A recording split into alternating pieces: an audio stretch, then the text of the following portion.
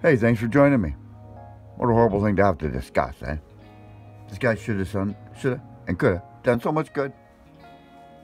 Ah, sucks monkey butts. It is what it is. But uh, this is, uh, I'm not, I don't want to give him any ideas. This is just thoughts on ways that he possibly could get away with it and all that. Now, I'm not trying to help him get away with it. I'm just saying, hey, uh, let's be real. Uh, this gentleman will have a whole lot of film on a whole lot of people. And plus, there's actually some legitimate excuses. So, here we go. P. Diddy, just a tax charge. Here's how just a tax charge. 50% of the parties are just a rich guy providing place for his friends of their party, using rich friends' big place to hold it.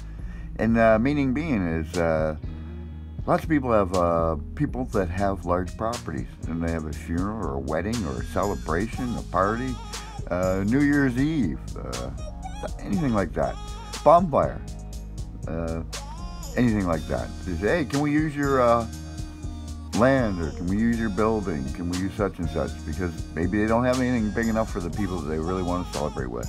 You know, connection and all that kind of stuff. So, and 40% of the parties were on his property, but so huge that he didn't have control of them. Hilton Hotel families not charged for drugs found in their patrons' room.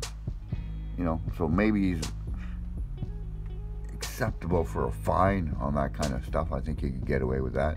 So there's 90% of the stuff wiped off. So now we got 10% left.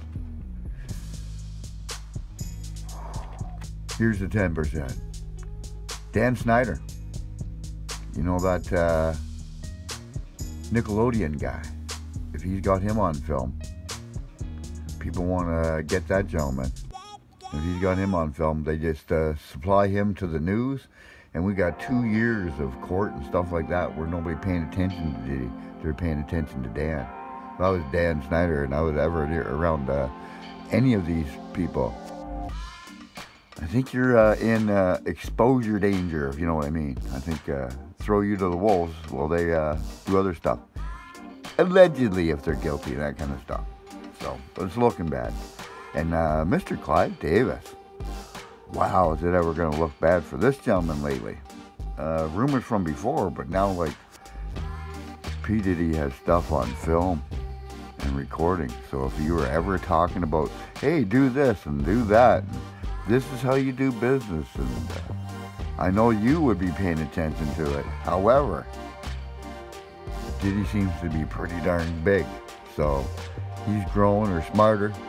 So if you ever say anything about Whitney or Janis Joplin, their deaths and uh, maybe hmm hmm hmm, you know, if he throws you to the wolves, he's clean.